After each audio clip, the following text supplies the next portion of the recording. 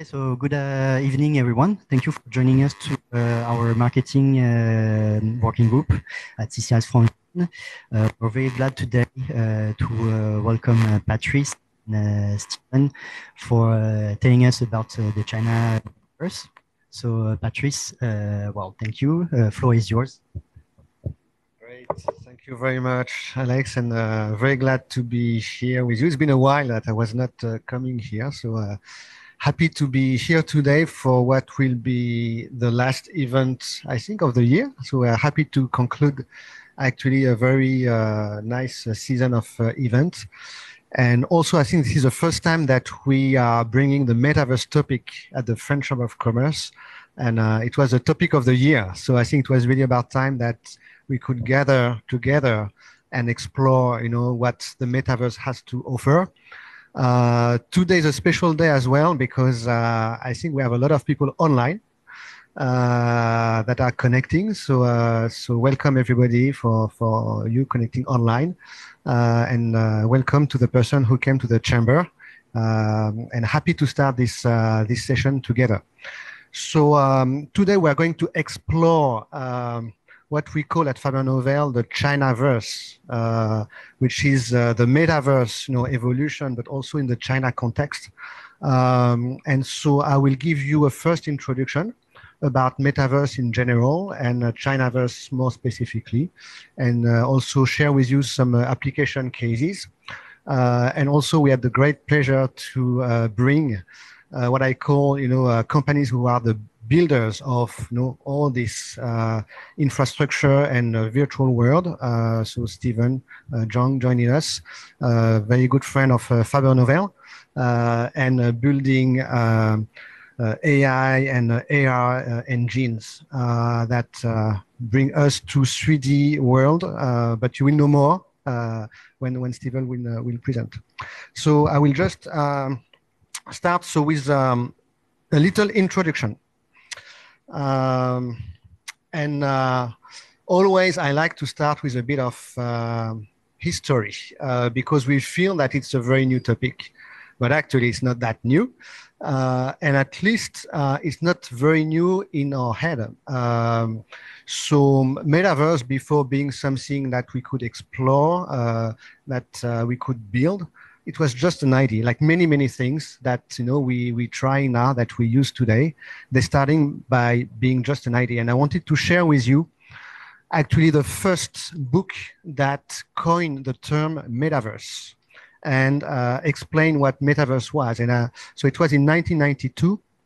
Uh, I had the chance to read that book uh, a few years after uh, it was published. Um, and it was very interesting. Uh, it's still very interesting to read now um, without uh, unveiling the, the, the, the story. Uh, so you have so this metaverse environment where people regroup, and there is a drug uh, that is distributed in this metaverse, which is actually a virus. uh, so you see, it's very, very uh, close to what we live now. So it's a virus that spread, and people, the avatars in the metaverse, get the virus, and the users of the avatar, so the people behind the, the, the, the, the avatar, get sick because of this in, in the real life. So that's the plot of the, of the story. Uh, but I let you read it. I think there's a lot of things that we understand only from reading that book. Uh, so it's all starting with an idea, uh, but then a lot of things happen. And again, it's not a new, uh, it's not a new wave. I think uh, personally, I had the chance to uh, experience probably like three waves uh, so after I read that book, I think it was around 1996 uh, uh, when I had the chance to read it. Um, I actually had the chance to uh, leave a first wave in 1999 when I started my first company because I had to build a, a metaverse environment uh, to um, to regroup companies and to create a kind of forum online. Then later in 2003, you might remember uh, Second Life, which was also a very big metaverse wave. Like everybody was crazy about it. A lot of companies were creating uh, environment and stories. And I was working in a bank at that time, and we um, also uh, created a lot of projects uh, as brands are doing now. But at the time, it was in 2003.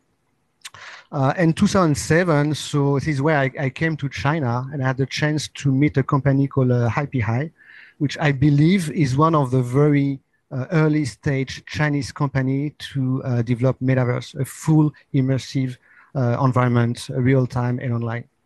Um, and another element which I think is uh, good to remember uh, because uh, associated to metaverse are NFT and you know Bitcoin and um, blockchain. and you might remember that China in 2015 was the biggest Bitcoin market in the world in terms of mining and marketplace. Uh, and I had a chance to meet this company, BTCC, uh, which was the largest in the world in China. Uh, so it's not very new. A lot of things um, happen already.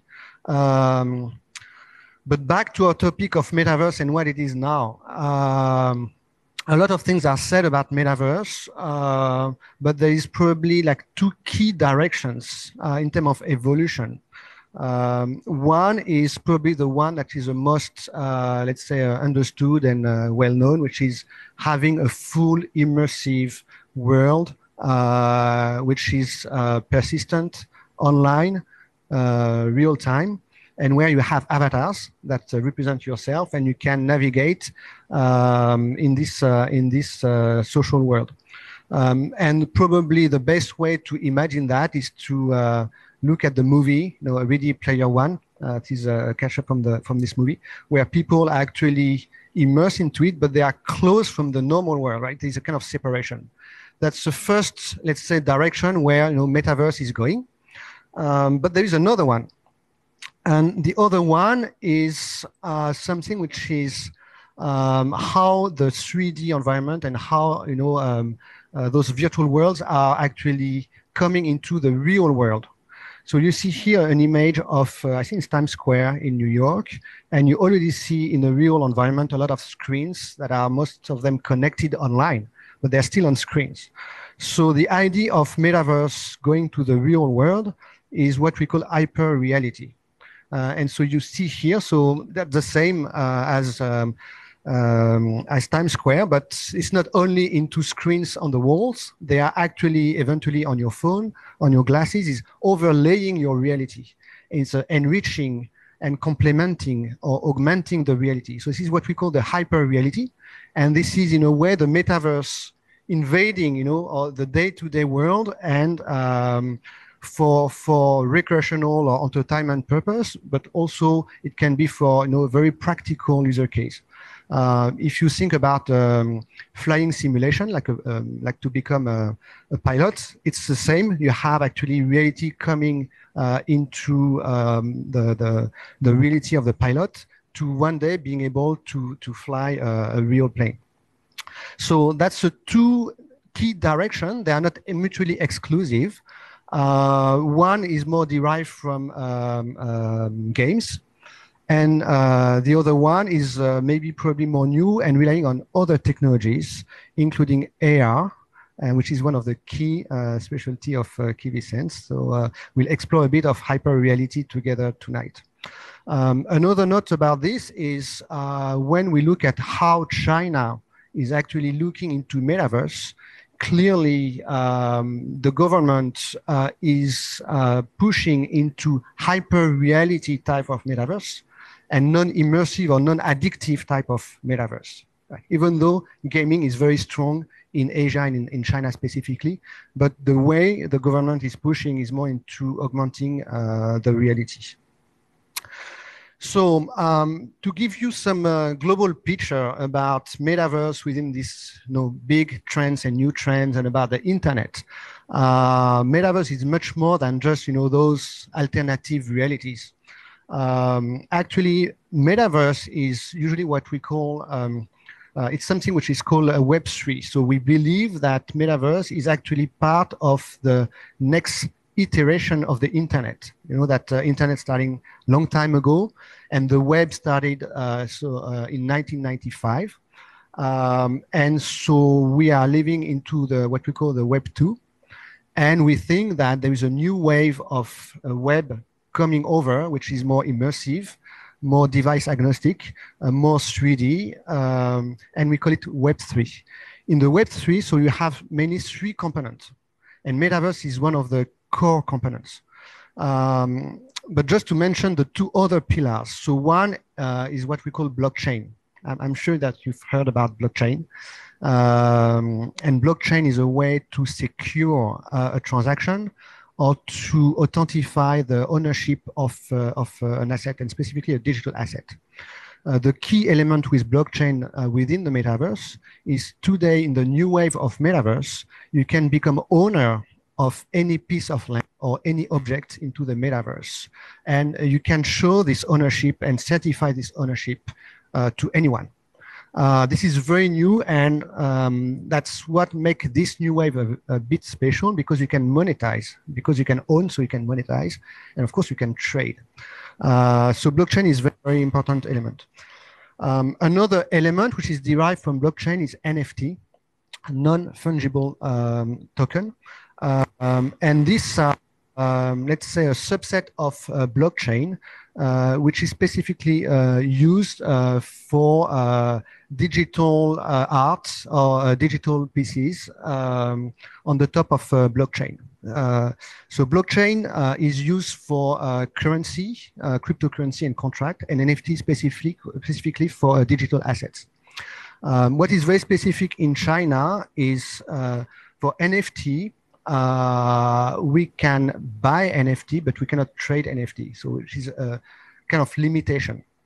Um, and what is specific into blockchain in China is that in the rest of the world, we can have a decentralized uh, blockchain consortium uh, that define how uh, we can secure assets and how we can contract.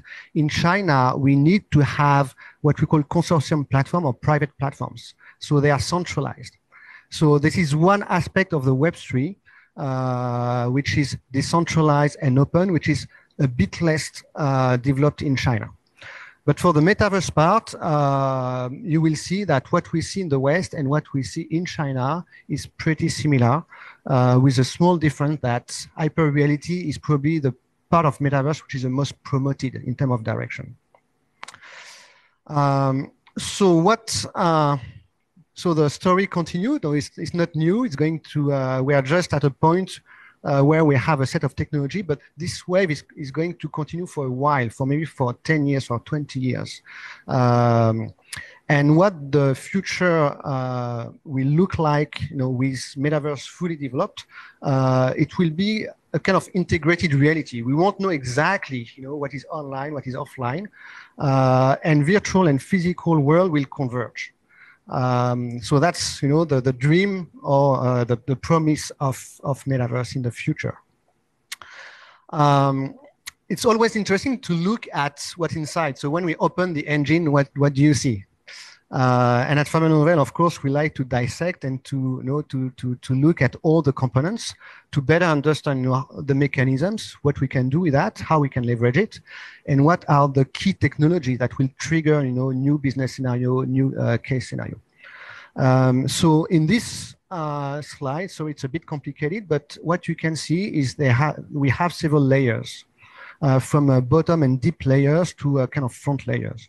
So you have a first layer, which is infrastructure. You need a, um, a lot of um, even hardware or uh, computing power to process all these 3D elements in real time and with interaction with eventually millions of people in the same platform. Um, so uh, you have so everything which is about a chip hashing power uh, and probably will need to go to uh, toward what we call quantum computing to be able to fully process all these assets um, in the future to be able to have this uh, metaverse fully working. Uh, we also will need uh, to uh, upgrade, you know, the network, uh, the, the, the bandwidth. Uh, so we go to 5G now, but we'll have other iteration of, of network that will be necessary actually to process this. And then we have everything which is linked to what we call perceptual interactions. So how you can interact with the internet, not only but looking at your screen, but maybe touching it, uh, sensing it, you know, with gloves or uh, looking at it or interacting with, with it, you know, uh, as you move. Um, and all this, those sets of technology is um, actually where uh, Kivisense also is working on. And you have what we call XR specifically, which are uh, AR, uh, augmented reality, and virtual reality. Um, you have a second layer, and I will not go into much detail, uh, but um, one piece of that, you see blockchain again, uh, but you see artificial intelligence. You know, we have a lot of uh, new development and acceleration of the innovation on artificial intelligence. You probably recently heard about um, uh, generative AI. Have you heard about generative AI? No? So generative AI is uh, the big, big, big buzzword right now. Uh, so basically, you give to an AI engine uh, um, some audio file or some text file or some image, you input whatever thing, and the AI will generate something new out of it, and can be extremely creative. So we can have AI that generates um, uh, code, that, that can develop code, uh, AI that can generate, you know, creative uh, piece of art, um, AI that can um, solve problems, very complex problems that uh, people don't know how to solve usually. Um, so this is a very big, big topic uh, that we're looking at. And of course, on the top layers, you have all the application.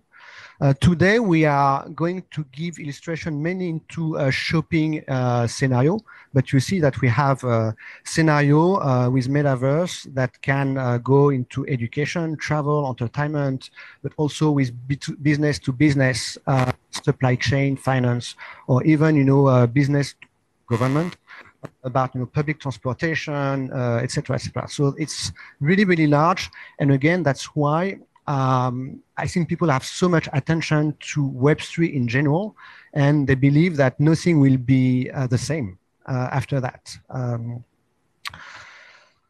so a lot of companies, you know, are actually the builders. So uh, at Fabernovel, we are actually uh, maintain a very uh, large database of those companies, specifically in China. And this is how we got to know Kivisense and uh, got to work with them. Um, so I will conclude with a bit of uh, brand strategy. So brands, what do brands and company can do with it right now, and what's happening right now? Is it uh, ready, not ready, and um, what are what are the what is the impact? So just few illustrations, and um, uh, just uh, to uh, to go with the discussion later on. So first thing is um, in the West, so outside of China, uh, the trend of you know uh, brands experimenting into metaverse, NFT, and blockchain already exploded. Really, really, uh, uh, a lot of companies, uh, specifically into the fashion, beauty, and luxury area, actually have been starting probably the first.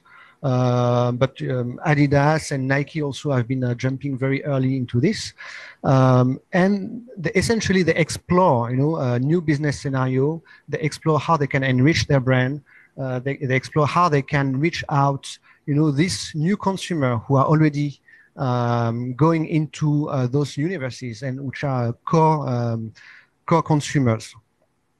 Uh, when we look at what's happening in China, oh, I think I missed one slide it's, it's okay.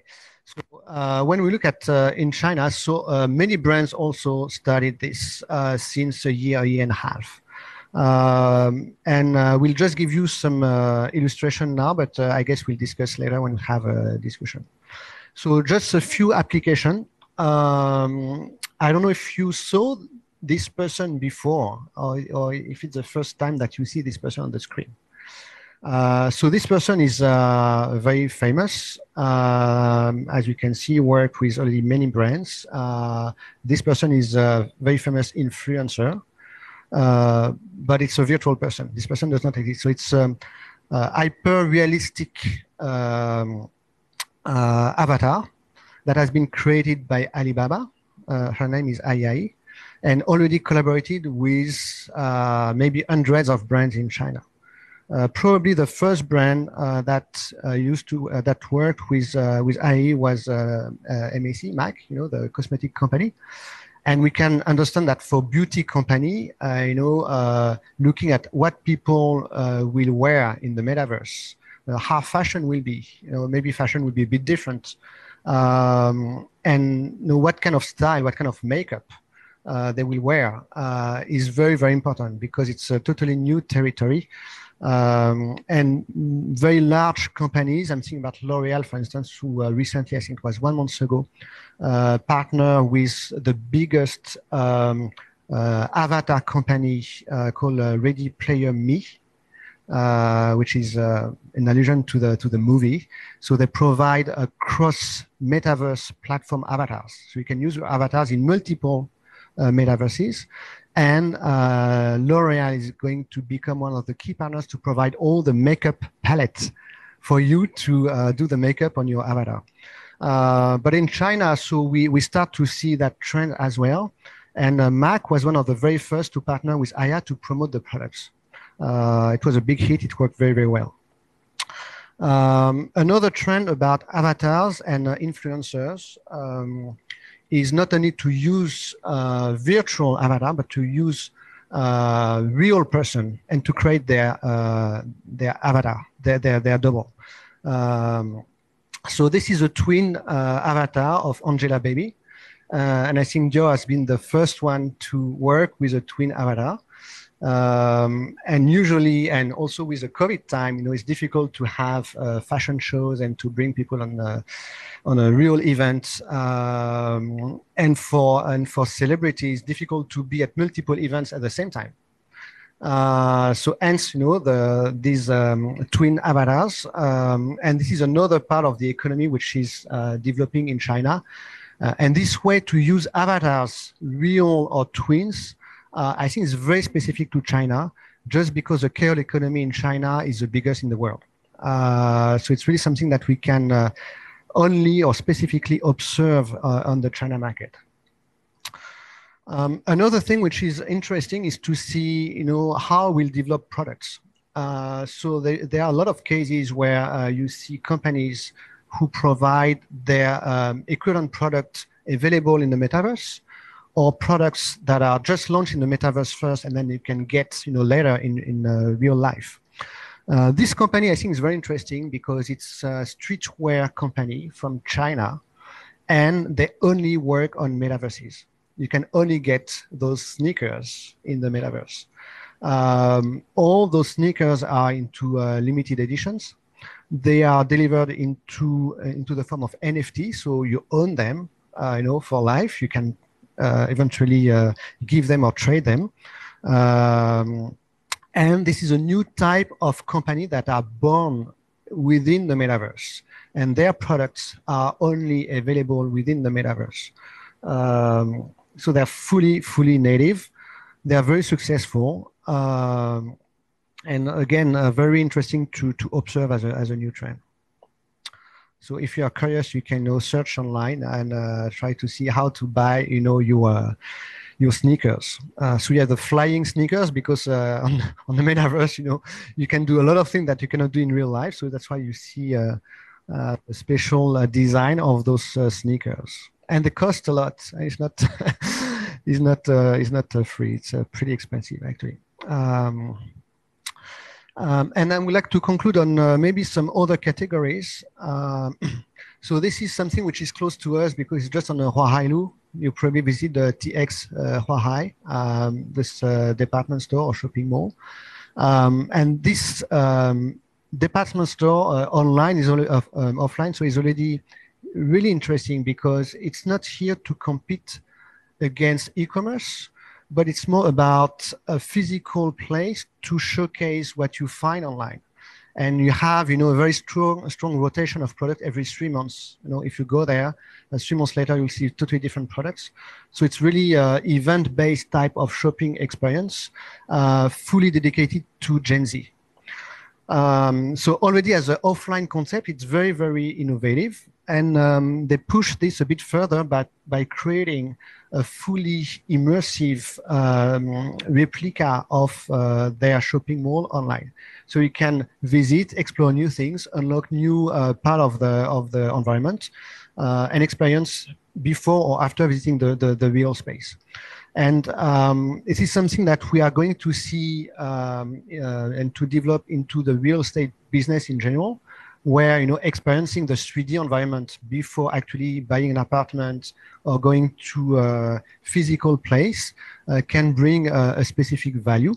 Um, and eventually you can go there alone, but you can also meet people there. You can even socialize uh, into the replica of this uh, real uh, real estate um, properties.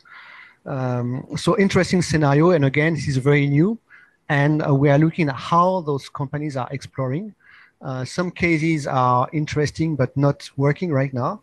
And some cases might represent what could be the mainstream in the future. So always, again, interesting to see all of these um, experiences. Um, and we could not, not finish with an uh, uh, in industry which is very big in China because this is the biggest in the world in China, which is the automotive industry. Uh, and the way people buy cars. Uh, I don't know if you bought a car in China uh, or if you bought a car everywhere else. So usually you go uh, to a car dealer.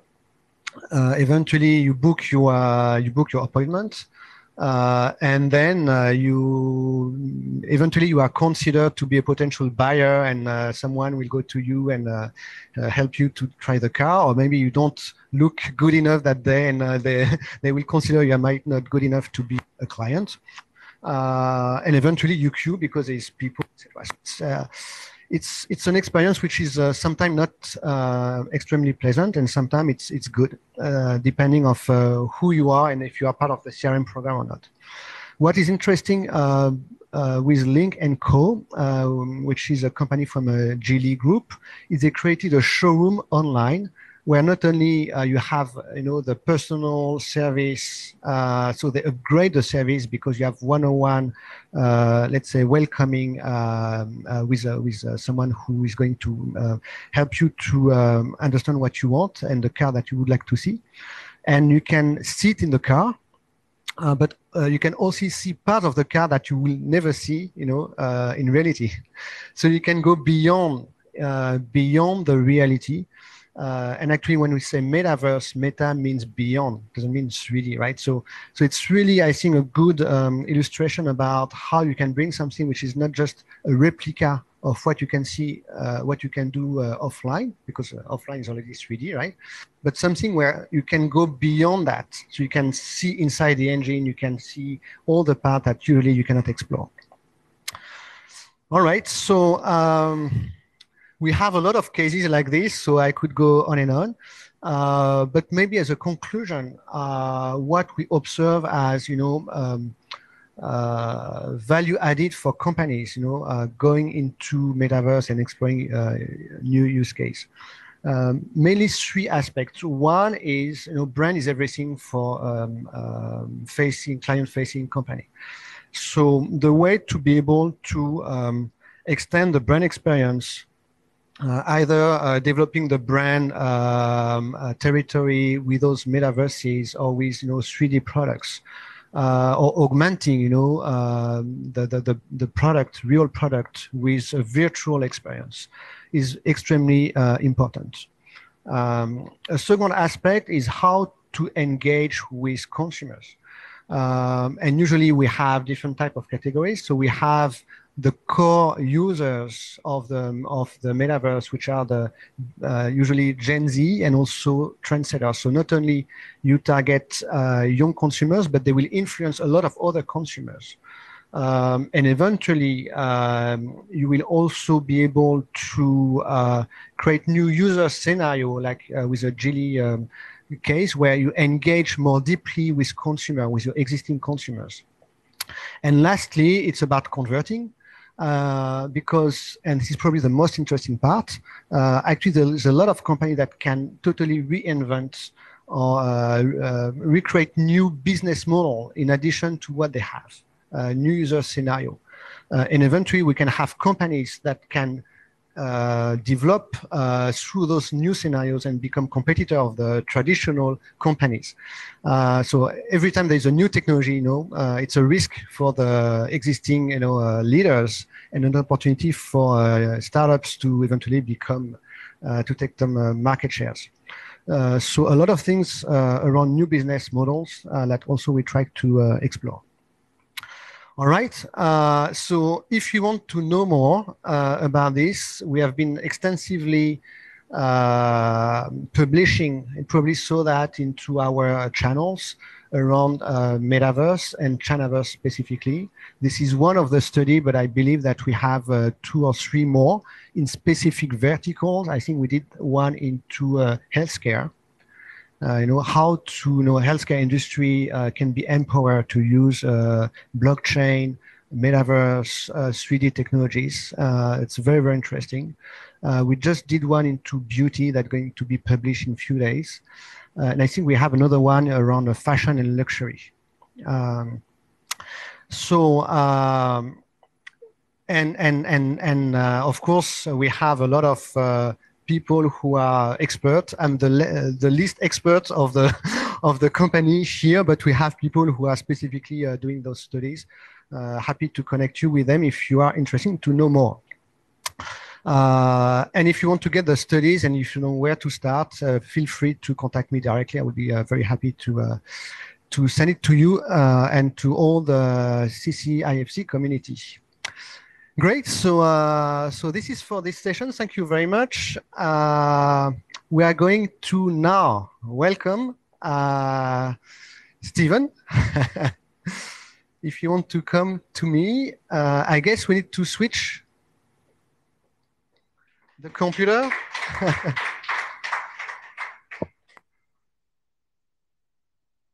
you want to give a, a, a more extensive uh, introduction about Kivisense and Stephen uh, Niska?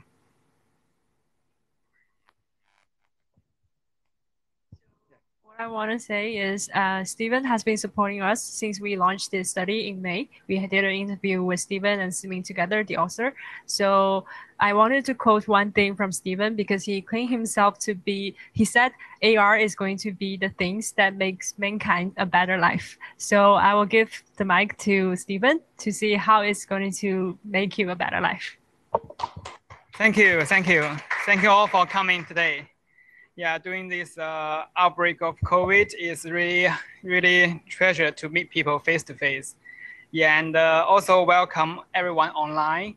And this is a, a, great meeting here to let us more inform about the uh, metaverse. So, uh, so, uh, so uh, based on my previous life and work, I can share some a little bit of detail of the metaverse we're doing right now. So uh, first about the uh, Kivisense. The Kivisense is uh, actually is a third company I've been uh, I've been devote my life to. yeah, it's my uh, it's my uh, very treasures baby, and uh, we focus on the uh, AR and uh, web AR technology in e-commerce and digital marketing scenarios. Uh, we are a Sino-French joint venture, and we use this AR technology to uh, let, uh, let our partners, our brands, our friends to create value in the reality. So the AR is spelled for the augmented reality, but, but I spelled it for the augment your value in reality. So this is how we spell AR. So eventually hope everyone here can uh, gain the value beyond reality. And we uh, Kivisense also won some uh, won some award and global attention last year, especially for the Meta as uh, one one of the five best startup globally. And we some of our uh, project has won some uh, campaign, some awards like the FS, uh, the the automobile projects. Later I, I can show, and uh, we mainly uh, create the AR in e-commerce platform. So most of our clients are from the luxury brands, but we also create so many more for all the other brands. So everyone can have a seat, can have a piece of huge market in metaverse, and that is that is how we uh, augment the value for these brands. So uh, basically, our uh, our company we have uh, three key products. The first one, of course, the metaverse. Yeah, it's been the hottest buzzword since last two years, right after the Zuckerberg changed his company name. Yeah, so so the first case I'm gonna share is uh, metaverse uh, is a new is a new word, but 10 years ago, when I doing the uh, AR or VR, this is something we create. We create a scenario of of the space online, and people can browse the line, browse browse it online, and uh, enter a different room. And in different rooms, they can browse different product. And we use uh, we use a photo to create this room like a, a sphere. Yep, that is 10 years ago. Yeah, 10 years ago. We're doing this project a lot. And we also create the product project, the online virtual boutique with 3D modeling. So the metaverse is, even though it's a, it's a new word, it, all the technology, all the concept come from the, all the other kind of technology like rendering, the WebGL, the 3D, the gamification, the, the physical engine, something like the Unity. So, uh, but the thing is, the metaverse is coming to our life because we have blurred the boundary. Uh, back to back to 10, year, 10, 10 years ago, maybe you need to download the app. You need to download, install the setup for the computer to have the game. But right now, only a link, a card of WeChat, and you can browse metaverse anywhere, any place you like. So that is how we uh, built this Maybelline project from scratch. And user need to uh, push a button because this is a this is a very metaverse we built for Maybelline on Taobao. Yeah, Taobao is a platform. is uh, is uh, many brands uh, have their business on it, but Taobao is also a very um, limited platform because you can't get enough algorithm to do what you are going to compute about the rendering, about the how we track human body, like put on the shoes virtually, put on the watch virtually. So based on this scenario, we create the Omni platform for the metaverse as a solution. So you may see the video here. When the user push the stereo volume up, to enter the futuristic city in a flying car, like this. Yep, here's a here's a view in the flying car. Yeah, and when you stop at a house of beat, you can browse for different kind of product, the starting product. And for different kind of product, there is different kind of uh, gamification. Some is for the AR try on, some is for the little game, and some is for the uh, beauty tips and some for the dance game. And all these kind of things is let their VIP, let the, the fans of the brands to engage, especially with their uh, spoke model ITZY, the, the K-pop K-pop group. So um,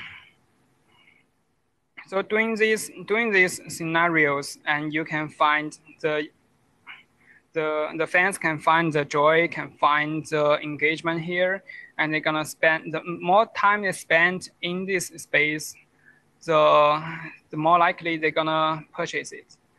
Yeah. So uh, so after each room you explored, you will get a coupon, and you can use it to buy the thing you like.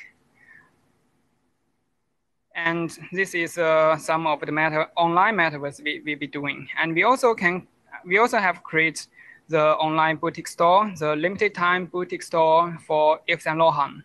And for this, in these scenarios, we just uh, create a virtual room where you can actually step in.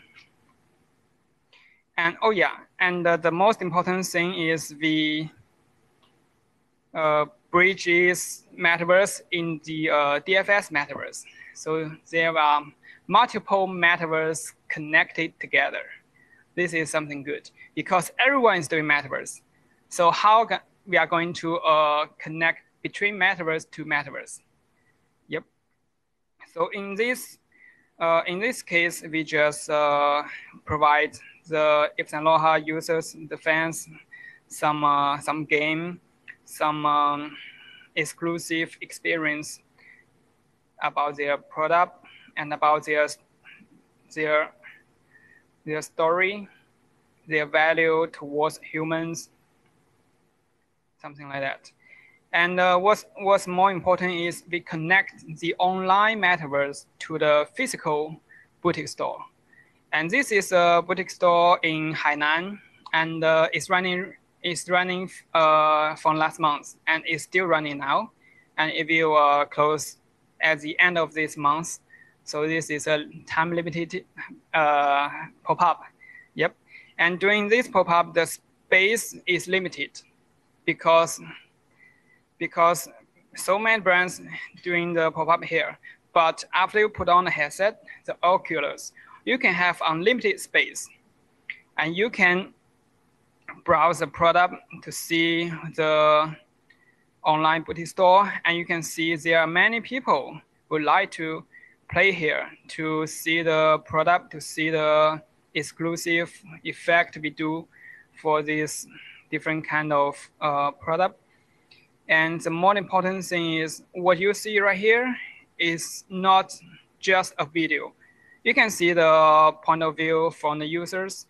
It is uh, actual live in real time rendered on Oculus device. So this is headset device and we uh, made it omni-channel. It's supported for the mobile, for the desktop, for the Oculus, and you can get a little gift after you play this metaverse. So we uh, somehow connected everything together and make it exclusive for our brands. Yeah, and the as the opposite of the brands, there is a IPSA showcase. Uh, we we it, it, just right next to our Yves Loha uh, pop-up. Yeah, it's uh, what a coincidence. And during this these scenarios, uh, we just let user to uh, those user come to a pop-up can have the filter in AR mode, and the KOL, the celebrity can shot their story, can record what they are having right now and uh, spread on the social media. So the thing is, uh, after you hit any of the metaverse, how you gonna take photo in it? How you gonna share between the world on your circle, on your moment? And this is how, because when user engage in the filters, If will rise a rate that they're gonna share it. So we just create this um, this all the AR filters with care, with good care. We take care every detail of it, and we let them to have fun and share it. And about the um, and about the uh, sometimes we when we uh, tell story to the to the brands when we uh, pitch to the brands, we always say three words: the awareness, the loyalty of consumer, and retention. So um, how you convert from online to offline and drive more traffic from offline to online. Yeah, this is a topic give a headache to everyone. So uh, we always come to a different kind of solution, different kind of angle to provide this uh, with different brands. And in this case, the, the brands come up with a story uh, come up with a question. They have physical offline boutique, but why they need the online boutique as well? Because the online boutique can uh, spread on the social media and they can uh, have an advertising advertising uh, budget and to share between the the moment in in in WeChat and and when you uh, browse the space, you can register for the offline space. You can book your trip to the offline limited boutique store. So that's why when we are doing, when we uh, show the technology, here is people uh, open the mini program here, they actually need to enter the space. You can see the video at, at the beginning. Uh, when you enter this mini program, you can place a portal right in front of you, and you need to enter to walk in as the uh, anchor for the for the users to to imply them they need to walk in their offline boutique store. And yeah, this is some little bit of creative we we have, and uh, this have largely reached the re registration rate for for the for the people, and, and more people coming to the offline boutique store after this under this uh, reservation mini program. So um, about the retention, the thing is, when we talk about the retention, the thing is, the more people gonna share it, the more people gonna see it, and uh, whether you whether or not you are the fans of it, uh, you will come to have fun, because less people gonna spend time in the advertisement. Yeah, they they just don't want to. They just want to skip the 10 second advertisement videos at the very beginning, but they would like to see to play themselves in a delightful experience. So that is how we uh, help the, the Vogue and the Tmall Luxury in these scenarios. We create some um, experience for the uh, KOL, for the, uh, for the people to take photo with it, take photo with the IP of the brands. And we also take great care during the during the beginning of the metaverse. Um, this is not an open space metaverse. It is more like a roller coaster metaverse because when the metaverse is open spaces, uh, people will get lost in, it. They, they don't know where to go. Yeah, there's so many shop and uh, where exactly I need to go. So in this roller coaster uh, metaverse, uh, people will see everything in great view. And within 10 seconds, they will see the brands. That's what they like most. Yeah, because they want to they want to have more awareness between the young people. Yeah, so uh, 10 second to the 10 second hit a topic that is very important, especially in metaverse, because uh, some of the metaverse is so large so vast and people actually get lost and don't know where they're coming for. Yep. So uh, during these scenarios, we just uh, build a beautiful journey for them and people can have fun in it. So you may see the, so, so you may see the view here. Um, we work with Vogue and uh, Vogue provide uh, uh co-work with some other different brands. And doing this rendering uh, video is not just a video, it's, uh, it's a live in 3D rendering. So we so so the engine of of Kivisense is we can render every detail with great, with great care. And you can also take selfie with uh, with the avatar from the brands, and you can browse 360 in the view of in the view of you like.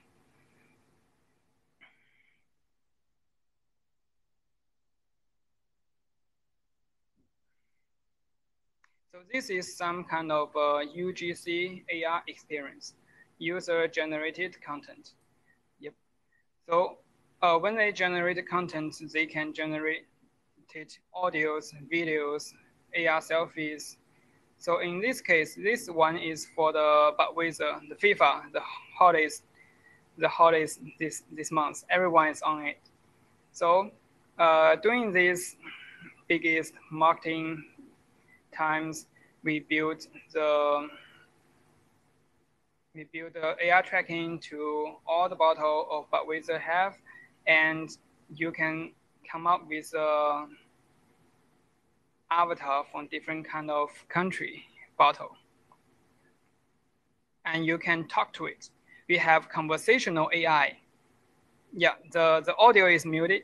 So, uh, so, so you, you won't hear it, but people can talk with the bottle, like he's your buddy. You can ask him, uh, who you think gonna win? And he can tell you a joke, tell you a rap. Yeah, actually, it can tell you a rap, and it can tell you the his perspective of something, and people will have great time drinking the beer because you need to buy the Pepsi. Uh, you need to buy the but with a bottle, and you can have these uh, in, interactions on your hand. Yep, and this is somehow connected to the sales part, the conversion.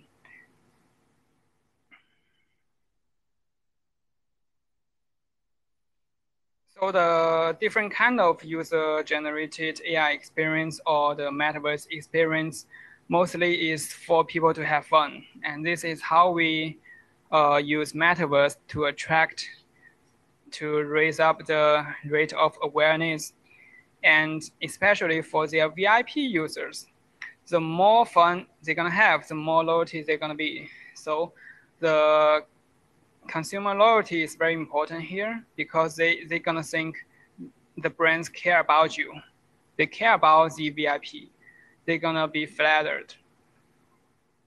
So they're gonna buy more, yeah. So some sometimes we uh the metaverse is only like uh, a space, the open space for people to to explore but we also need to have something interesting, something fun, like a game, to let them uh, thinking, th- thinking that it's very important to win the gift. For example, like the Moschino one, we uh, there is a, a bag for free for the for the champion. So the people here is really getting crazy about it recently there is a game is called uh, Yang Le Ge Yang. Yep, is uh, is spreading overnight, and it, it reached to let me see the data. It reached to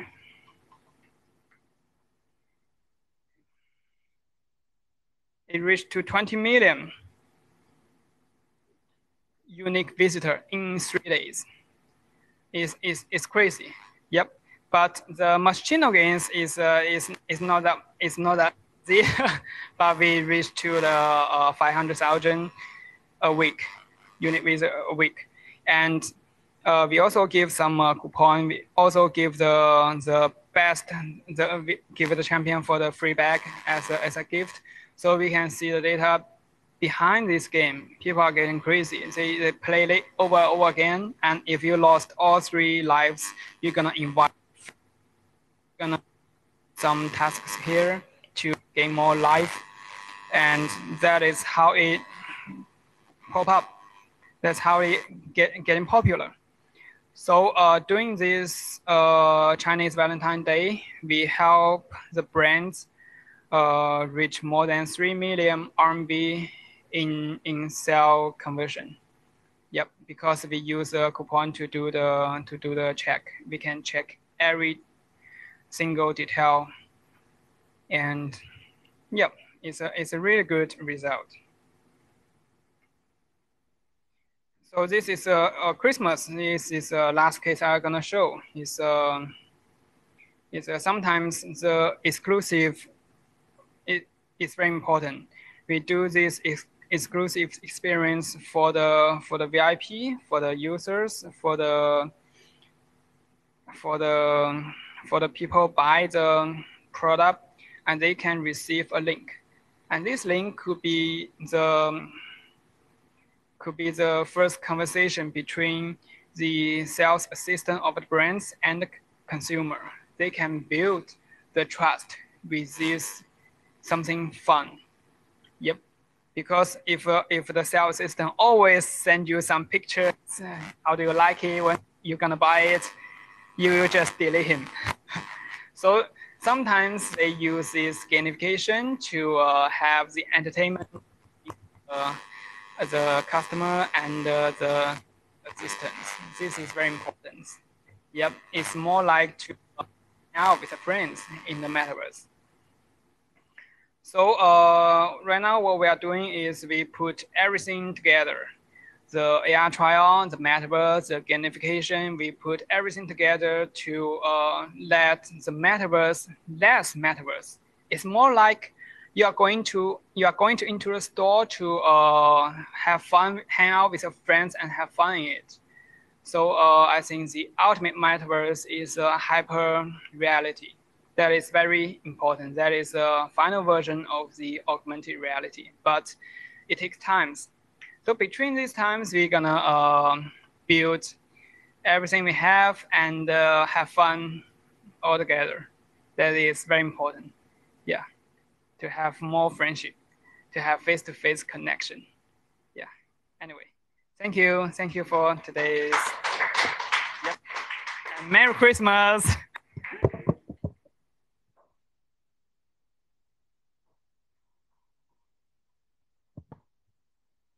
Uh, so the next one, we'll be having a little fireside chat between Stephen and uh, Patrice. So I'm here to ask some questions and dig into their minds. And uh, after my question is done, then feel free to raise any question you have in mind. And Patrice and Stephen here will be giving you an answer.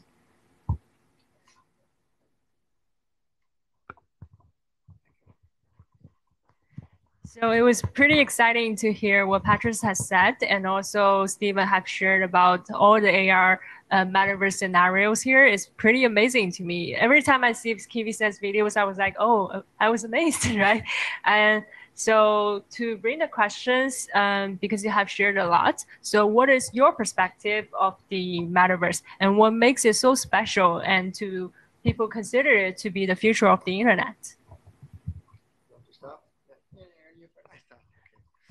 Uh, so yeah, large question. But um, I used to say, you know, you cannot undo the past, and you cannot stop the future. It's uh, the question is with metaverse is uh, is not about if we like it or not. Uh, the technology is there, and it's going to unfold into some user scenario that we don't know yet, right? Uh, so you are creating a lot of user scenario with your technology and the, the company you work with, but a lot more we unfold, and this is for us to discover. Uh, so it's there for good, and that's why I wanted to to say that it started already uh, a long time ago. So we are in the process. Uh, it will still take some time uh, agreed to have, you know, um, all um, the experience that we already imagine within the books or within the videos to happen. But we see uh, already some fun experiences already now. Um, how it will develop, uh, it's very difficult to say.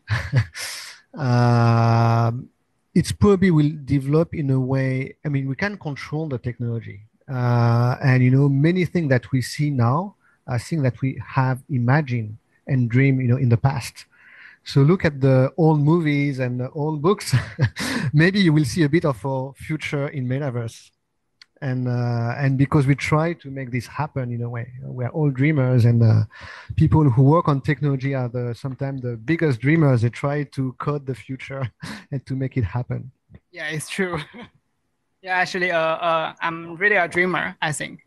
Yeah, because at the very beginning of this uh, of these these companies, I just saw the saw the hyper reality videos, and that's it. That's the future. So I devoted all my time and uh, and uh, recruit many friends and partners in this, and uh, to develop something ultimately uh, in this in, into the reality. Yeah, we hope this day could come to your life sooner. So the metaverse is uh, is is a really amazing thing. Yeah, it can break the boundary, break the physical world, and doing especially during the the pandemic period.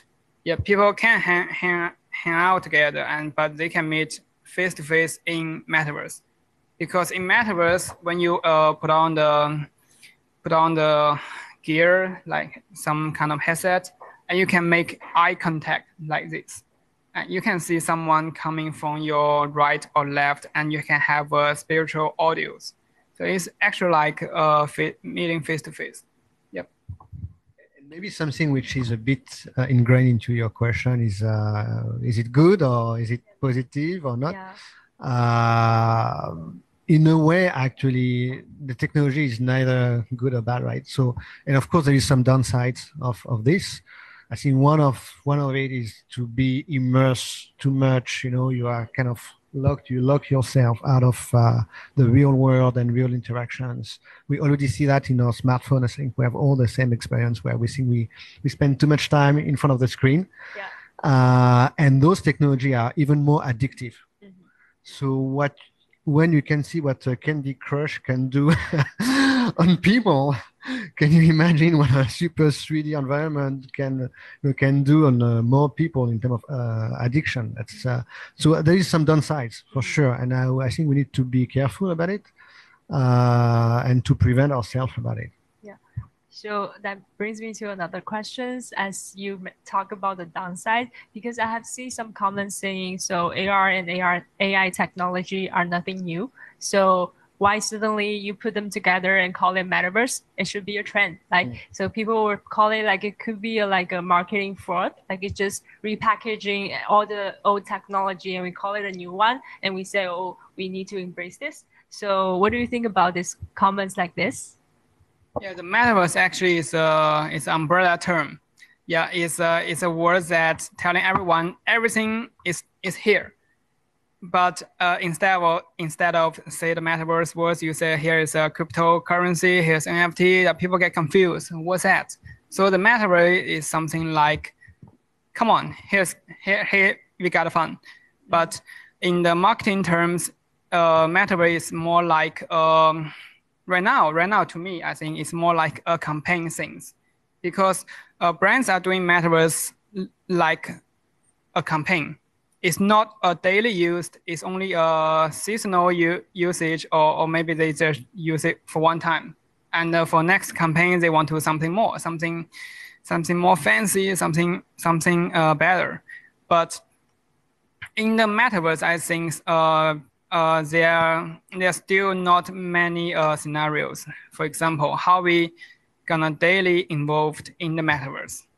So we need a killer app for that, like the how we do sport in the metaverse, how we social, how we uh, listen to the console music. Yep. So the metaverse right now is a is a is a is a baby. Yeah we need people need more time to develop different kind of scenarios and applications here so yeah this uh is for that's a little bit beyond yeah but this is something that is a is a is a memory it's just like the the the, the 通行大数据 it, it is like a memory for the pandemic yeah, it- so the metaverse is something like a part of the hyper reality phrase, I think. I have a similar view. Uh, so in a way, metaverse is a mega trend, and we all see that. That actually it's built upon many technologies.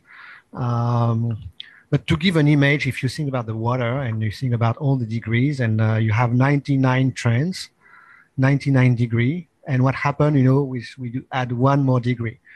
Uh, is is it still water? It's just changed by nature, just because you add one degree. So I think it's a bit the same. So with metaverse, it's a mega trend. It's a accumulation of many, many other things.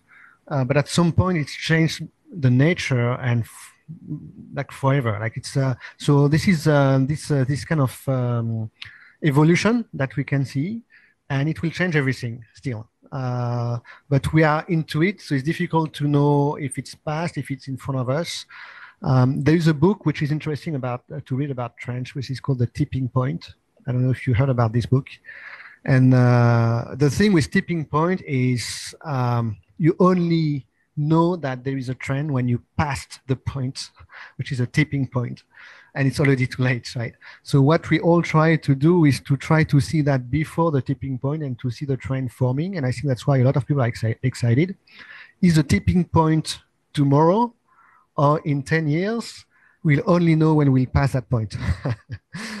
so that's that's uh, the the paradox of it. So uh, also, as uh, mentioned, that uh, metaverse for now is like a baby version.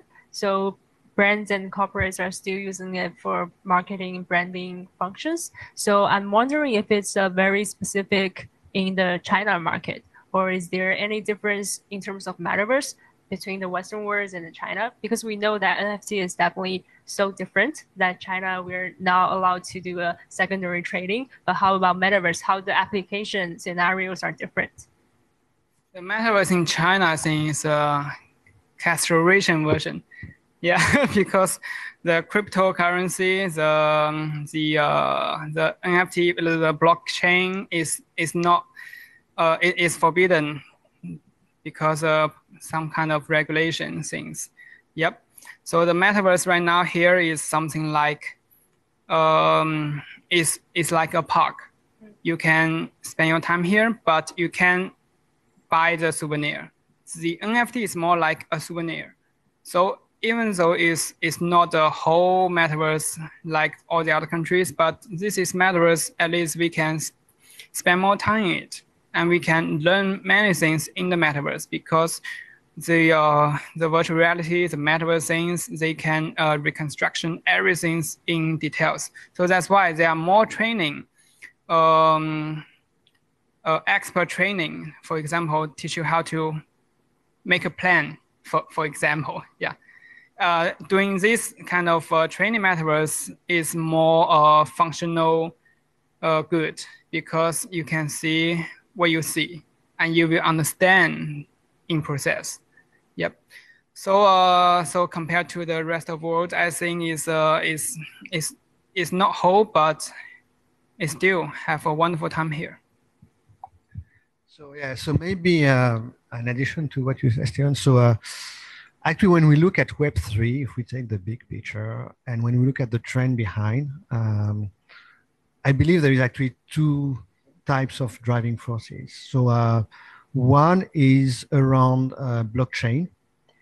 Um, and this is something which is really linked to the very beginning of the internet, you know, with the open source, uh, self-managed, you know, network, um, shortcutting, you know, uh, states, private, you know, big uh, companies, uh, self-management of the internet and assets and everything. And this is a, is a very strong force of the internet in general that go to the web, that go to the web three, that will go to web four, and uh, is uh, is coming from from people.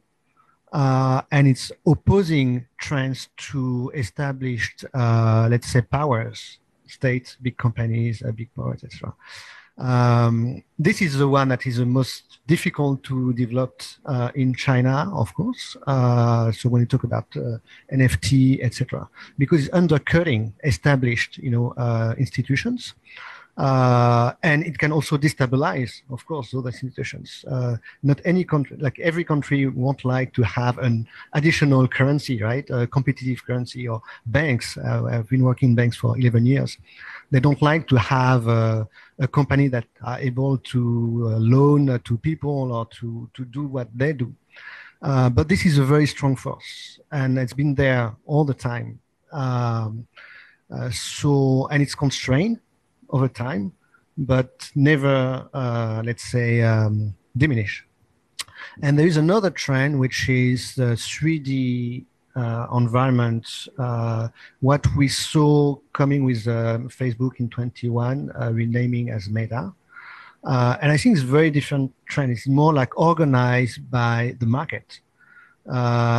Because as you could see when I show you know all the infrastructure, as soon as you go there, you will feed a lot of companies uh, to develop uh, infrastructure networks. Uh, it's a big economy. It's a it's a big way. It's a great way to reboost uh, this internet economy by going into 3D. But not anyone asked to live in a 3D world uh, today or tomorrow. It's it's great, but if it's happening tomorrow, it's also great, right? Or if it happened before. So there's not so much of an underlying force which is coming from people. It's more coming more for, um, from companies. So I think these two are very different. And uh, the second one is less constrained in China. The first one is more constrained uh, in China and in some other countries. So I think that's what makes the difference. Yeah. Totally, I get it. So uh, if we take zoom into a smaller picture, if we're focusing on the brand and the consumers, and uh, we shared a lot of cases of what brands practices right now. So uh, among the cases you shared, which one would like strikes you the most and you find it most interesting? Either you're working with it or when you see it online. So and also what's the underlying implications for brand strategy? Yeah. So maybe Steven okay, okay, okay, okay. Uh, I think there are many. Um, uh, I think the one that uh, is very interesting because in specific to China and the impact is already huge. Uh, is about like uh, online shopping and um, and uh, influencers because already in China, half of the consumption online is influenced by KOLs uh, and many of people who follow KOLs, they also, a majority, follow virtual KOLs. Uh, so already the impact on purchasing and on the economy is huge. Um, already with that uh, use case. Uh, so I think for me the most striking is not the most sophisticated scenario, uh, but when we, we see uh, AI and uh, no super realistic uh, avatar still still uh, in terms of technology it's uh, still um, quite interesting yeah i think so too because ai is really um because uh, something is uh, transforming for the uh, for the uh, real celebrity to the virtual celebrity or even to the IP like the Fortnite. you know the, the Travis Scott, they they they make a concert on the Fortnite for the virtual concert on the on the Fortnite, and almost it got um, twenty million dollars for it.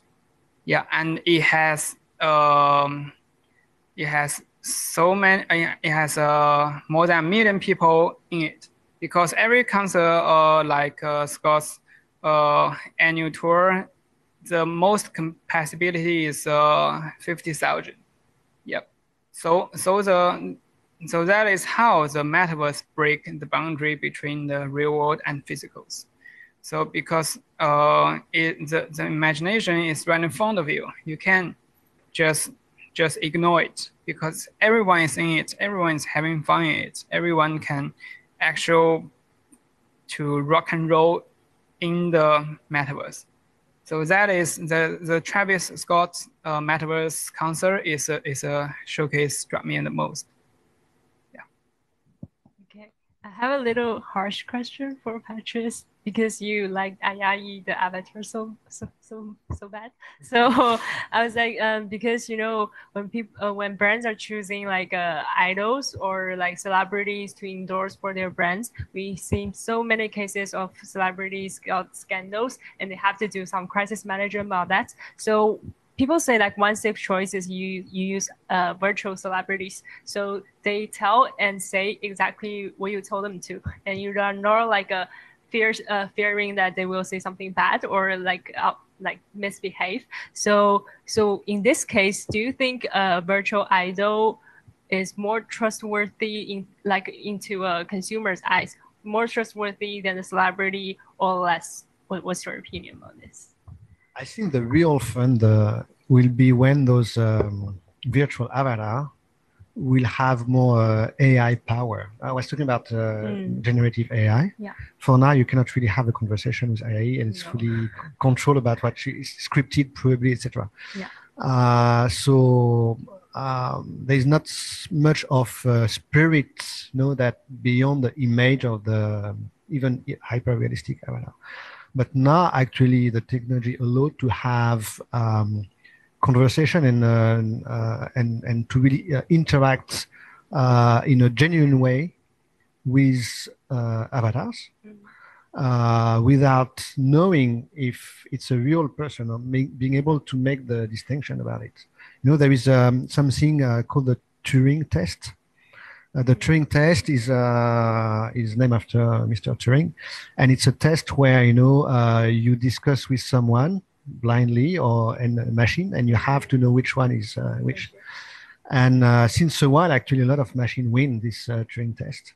but now I think we have a, a, very big leapfrog in terms of AI um, engines where uh, it's it's very complicated to uh, to know who you are talking to, and you can simulate a lot of scenario outside of the Turing test uh, in whatever condition. We might not know how you know who we're discussing with, uh, if the bot is a real bot or if the avatar is uh, with someone really behind, and then will be they will have their creativity. They they will say something which is not scripted, uh, and then maybe we'll go back to something which is uncontrolled and then we'll go with scandals but we might have scandals with ai ai person uh, that will be so that will be the real fun. Uh, let's see yeah. how it, it goes but uh, that would be interesting. I'm yeah. waiting for that. Okay. Me too. Yeah i see you. So speaking of ai because i see steven showcase a lot of like a uh, AR technologies, how people having fun with their phone and other devices. So can you like uh, uh, introduce us about how the AI algorithm AI algorithm works for your like uh, whole building of the metaverse? Uh, actually, we use something like uh, generated AI in it already. Uh, for one thing, is our AI algorithm we build it from AI. Yeah, our uh, basic framework of the development, the top secret business is the AI. Yeah, AI is a key. And uh, that is uh, algorithm level. We use AI to generate it algorithm. And uh, on the marketing things, we use the uh, AI as a conversational one. Yeah, like the but with the showcase. Yeah, people can actually talk to the the bottle. Yeah, yeah. Like uh, talk to your friends, but at the very beginning, it's a little bit awkward because it can use some dirty words. Yeah, yeah, because we, we lay no uh, limitation on the original AI, original conversational AI. So uh, we just input all kind of data and let it emphasize themselves. So they actually use the dirty words. Yeah, that's give us headache because the brands, of course, don't want it. but this is something that is real as a person. Yeah. Mm, so uh, you you can have a scandal. You can say the wrong words. You are the real one. yeah. I think, I think that is uh, AI I, I like. I like eventually. Yeah. Not the uh, pretend to be your friend. Some some AI like that. It's not real. No no blood and flesh. Yeah. Um, of course, we, we cannot not think about some scenario and uh, legal you know, things of responsibility when the AI took a decision. Mm-hmm. We already have, you know, the, the question of uh, self-driving uh, yeah. with the AI that, you know, might bring you to have an accident. And who is responsible? Is it the AI itself, the person who coded the AI? Is it the car mm-hmm. Uh, manufacturer? Is it you who let, you know, uh, and I think the same will arrive with, uh, with AI generated, you know, um, avatar or bot about what they can say. I think the one of the first uh, experience of uh, AI like massively open to the public was with Google. Uh, and actually they had to disconnect the AI uh, system uh, because he had like a revisionist, you know, um, uh, things into into the engine because there is no conscience, of course, and maybe it's for the best but the thing is, uh, what is a bad word? Was it a dirty word? There is no element about this. What can be said? What is uh, ethical, not ethical to say? Of course, it's not coded, and nobody know how to code that, right? So for now, it's uh, it's a bit of uh, open space. So a lot of uh, things to uncover, and uh, I think we have also the legal framework. We, we need to adapt. Mm-hmm. We already have the same with robotics. Yeah uh, we need to have we have we have the first law to bring robots to the public. Uh, the same as you bring a, a, drug to the public, you have a lot of um, you know certification. It's a process. And uh, the first time we had to bring robot into a public space, we didn't have any law. Uh, and we had to have the first robotic law, uh, like uh, it was already 10 years ago, but uh, the same will arrive with uh, AI law, I guess. Cool. So um, concerning the time, I'm not gonna take our audience too much time, and we'll, I will still leave you some time to ask your questions. So I will try. Uh, I will um, ask you to conclude uh, with a sentence on how to on how you give advice to brands and corporates how to onboard on the uh, with the metaverse. Yeah. The first thing you need to uh, you need to know is uh, what is your KPI? yeah, awareness, the consumer loyalty, or the retention. Mm. Yeah, because uh, in different kind of uh, KPI, we have different kind of solution. Yeah, so that is very important because we our strategy is it uh, aren't always the same. Yeah, so uh, after you uh, figure out your your KPI and we're gonna build something fun and something uh, good to share or something uh, target to share or something target to uh, for for user to to buy it. And that is always uh, data driven yeah we we will uh, provide different kind of scenarios with uh, data mode. And uh, people will the, the brands will know uh, how much budget they can spend in it. And uh, the estimated return of investment will be yep and that is how we uh, pitch the, the brands sometimes. Yeah. So so uh so normally for the brands i think all in metaverse that's true yeah you, you won't you won't you'll make me you won't make a mistake because Metaverse is transforming from nice to have to must to have. Yep, because uh, we have already have some uh, key uh, data about how many people gonna involve, how many people gonna share, and what strategies that will be good for what kind of event, the Christmas, the Chinese New Year, the the CBD, something like that is is different. Yeah, the details totally different Yeah, but the result will be the same. Yeah, to have more awareness, to have better conversion rates, or or the less return rates. Yep. I have a similar view, uh, and uh, when something is happening, you cannot stop, and uh, I, I, guess we cannot stop it. Is you know, it's the thing is disrupt or be disrupted. so the the only question is not if, but how to go there uh, what I guess is very overwhelming is all these sets of technologies uh, that we not fully understand. We don't fully understand everything as well. there's too too much, and uh, we are overwhelmed. But the real innovation is not technology. The real innovation is with users. And uh, what we say when we work with a brand is we know we know you know your users, you know how to engage them, uh, you know your product uh, the innovation will be how we change that. And the technology will just be an enabler. Uh, and we look at what technology can allow what. But the starting point is not the technology, as you as you mentioned. Uh, and that's a way to start the journey in a good in a good direction. Um, so starting with the users um, and the consumer journey. Thank you.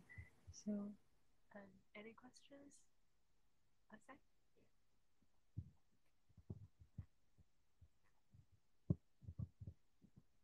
I'm just gonna start maybe with one question we got from uh, online.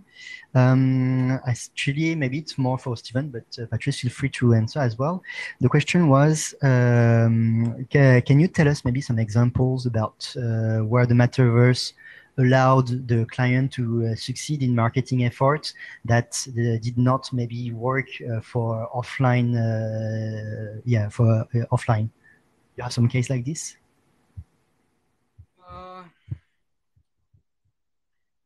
I think this question is uh, raised before the pandemic period. Yeah, so after the after the lockdown, the, the offline business is is uh, is really a headache. So the metaverse is something like a cure for the uh, offline uh, event, but metaverse is also the solution to make more people know about the offline event. So whether or not you are doing the uh, offline event or the online events, um, we need to focus on your product's features. Yep, because I, I don't know the, the the the question where the question coming from, so I, I have no ideas about their their features, their key of the products. Usually, we will uh, come up with solution to the to solve the pain point. For example, the the ring, the the, the selling ring online, the pain point is the size of the ring Yep. So it uh is vary from product to product. It uh depends on what's what what's your goal, what industrial you are in, and what product you gonna you want to be pop. Just complementing and actually using uh, what you just uh, mentioned as a technology, how to use, how to um, I don't know, uh, try I don't know, uh, one of that pair of sneakers, you know, uh, in five minutes offline. You cannot do that, right? In AR, you can do it, and you can change like 100, 200, and find the one that you like. Another example that you mentioned, which I think is really great, I think will change a lot the way we do concerts. How to get two million, you know, uh, participants to your concert? It's impossible offline, but it's two million or ten million doesn't make a difference online in the metaverse. So I think there's a lot of scenario uh, where actually you cannot do it at all offline, uh, but it's not a problem online at all. Uh, but again, I think we had this kind of uh, questions when we were starting with e-commerce, opposing offline and online. I think the same with metaverse. There is not much of an opposition. I think we illustrated very well.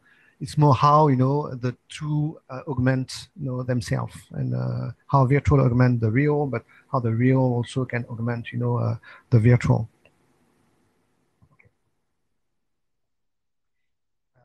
In this uh, extent, uh, there was also a complementary uh, questions. Well, I think this one, Patrice, should be for you. Um, you were describing the metaverse in the first part as growing technology. So, in this extent, seeing all the results that are very successful in China, do you think there is actually a limit to the metaverse? Is there one, or if it exists, what is the, the limit actually that we know about the metaverse? Um, is there a limit to uh, imagination? Uh, maybe, maybe. Uh, so the only limit is what we can do. Uh, and uh, and for now, the limit is technology, but technology is evolving very fast, and we have people who are building incredible things. Um, maybe the thing that changed a lot uh, again, and I will go back to AI, is now we have technology that uh, going beyond what how we conceive them. Uh, know you have auto-generative code. Uh, you have you know uh, algorithm that are auto-generated. Uh, so the limit, which was the limit of the of, of the brain, you know, imagining, you know, programming something, uh, is going disrupted by something that we create that have their own self generation uh, and AI is uh, is very powerful for that. Um, so yes, there is a limit, limit of technology, limit of software. There's limit of um, uh, calculation, computing, uh, and there's always you know between software and computing. At some point, we had software which where um, we didn't have enough uh, cheap power uh, to really run the software that we had or the the, the the the the technology that we had into the software. And later, you know, we had so much computer power, but we had less software that could use all that power. And we go back now to such powerful uh, algorithm that we need to go back into working to the hardware uh, to be able to process all this uh, 3D uh, real-time and AI systems. So it's always a back and forth, but uh, this is the limit. But the rest is uh, imagination, and I think it's um, it's uh, beyond the boundaries. Yeah. I think the limits is uh, people. People are the regulation are limits. For, for example, the traffic light. Actually, AI have uh, AI can do the um, good traffic light. Uh, people get get annoyed waiting the traffic light but AI actually can change that. But due to some uh, regulation or the people or the some some business in this traffic light cake, it's hard to push something to the ground. Yeah. So the, the yeah, I think some point is people. Yeah, you're totally right. It's the acceptance. Um, when you look at robotics, uh, because we don't link so much robotics and AI these days. I don't know why, but it's um, I think it's a big topic you have a lot of research about uh, human and machine interaction and how you, human uh, being will accept to have a conversation with uh, a, piece of metal or a piece of plastic, which is a robot. And there's a lot of designer that design nice faces, big eyes, or you know, like uh, comforting, you know, uh, to to bridge uh, to to bridge that barrier of you know acceptance because the technology is there. You can have conversation with uh, with a piece of metal, uh, but we are not fully ready uh, for that. We're not ready to have emotion with a robot or with a bot, right? But uh, eventually, it might happen. Another question online or on site?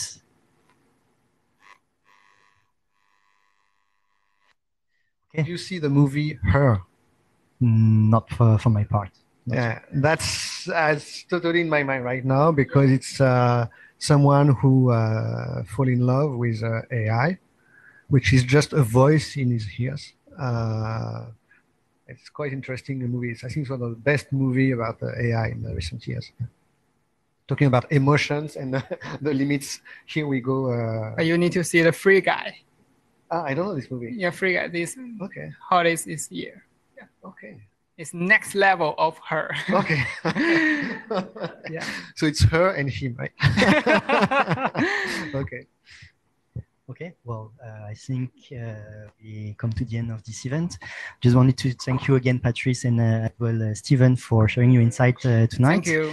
Uh, thanks as well, Niska, for the the moderation of the roundtable, but as well, thank you, Rachel, for the coordination of the working group.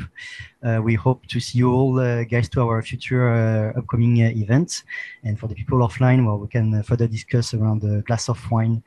Yeah, thank you very much. Yeah, in real life, of course. Yes. Thank you, everyone.